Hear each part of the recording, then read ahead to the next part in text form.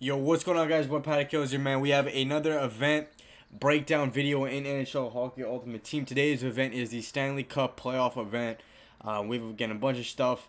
Um, event objective: score 122 goals, um, score 182, score 132 goals, uh, 382 goals, 400 shots on goal, 800 shots on goal, win 300 games, win 60 games, 400 hits, and earn 50 stars in the hut challenges. I think after all this, you do end up getting a um, a collectible. So um, the objectives look pretty nice. You get end up getting a gold collectible for uh, gold collectible icon collectibles. So I'm, I mean.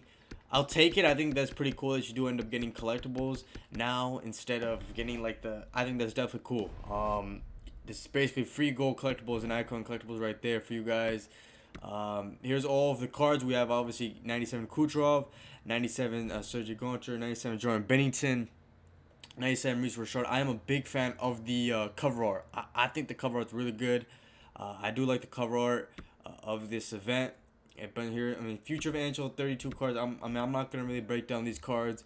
Um, they still have the Champion Club cards. The Prime Times are still in the game. And they, I mean, I don't know. There's, there's some new the packs as well. Um, I'm, I mean, the the Road to Summer campaign, the Shades of Summer, uh, very very close to finishing this card. I think you guys just need to get a couple more of the uh, Shades of Summer collectibles. Uh, but I mean, let's go see what this event's looking like with the cards and the packs. Uh, the packs very very very very very similar to any other event in the game. Obviously, you got round one pack, you got the Stanley Cup overtime pack, and then you got the Stanley Cup playoff beard pack. Yo, it is what it is, man. Um, to be honest, I don't know. This event kind of looks very, very like I don't know. I don't know if I'm really, really that excited for this event. Uh, but here it is. So you trade in uh 25 gold collectibles. I'm thinking for a random choice of a round one Stanley Cup master item, which is uh, either uh, Kucherov, Maurice Richard, Gonchar, or Binnington. Uh, here's kind of the collectible sets. The 52 collectibles. Uh, you trade in 52 collectibles, you get a choice. Uh, you basically, you know, what is it? Um, 12 gold collectibles, and the rest are just Stanley Cup collectibles. You trade in all of this, you get the choice of one of 14 master set items. Uh, trade in 28 collectibles. Uh, I mean, here's the double gold collectible pack. You trade in, uh, I think, 60 playoff collectibles.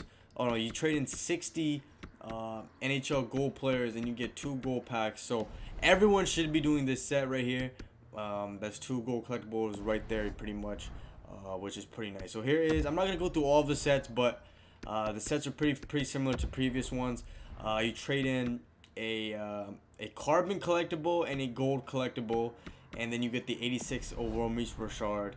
Uh, after that, you trade in uh, 86 Maurice Richard, bunch of gold collectibles, and you get the 91. After that, you trade the 91, a bunch more gold collectibles, you get the 96. And then obviously, if you want to get the 97, you trade in three more gold collectibles. Now, this is, it's a lot of gold collectibles.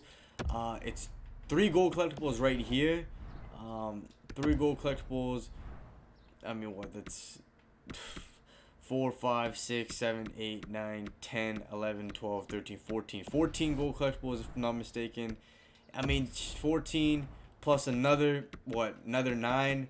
Um, I mean, dog, that's a lot of gold collectibles you're, you're basically getting for the 97. Um, is it worth it? I'm not sure, bro. Because you gotta you gotta also understand there's still uh, another 97 card you can make uh, with the uh, Shades of Summer collectibles and stuff like that.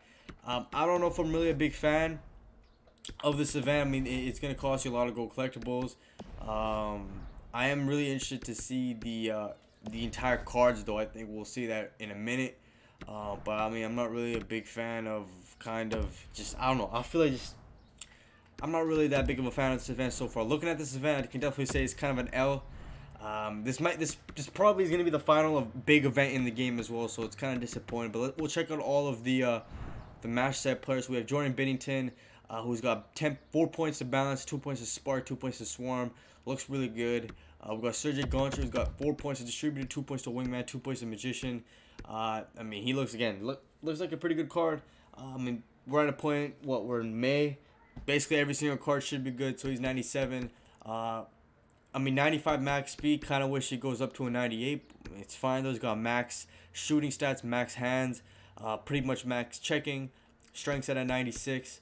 Um, he, he's a decent card you can obviously have. 97 Kucherov, 4 points to Heart and Soul, 2 points to Workhorse Gladiator. Same thing with him. I mean, the max speed he'd get to would be a 98. He's got max hands, max shooting, uh, pretty much max checking, except for 93 discipline uh, and then 96 shot blocking. Looks pretty good. I mean, you get distributor active at 98 speed, pretty much gets max speeding, uh, skating stats as well.